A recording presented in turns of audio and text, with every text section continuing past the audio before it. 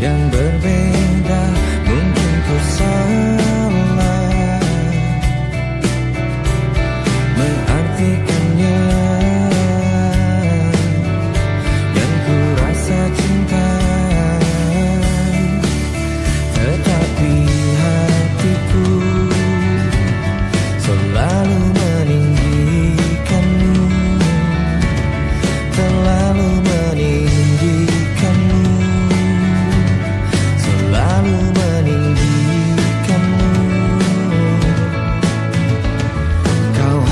hancurkan hatiku hancurkan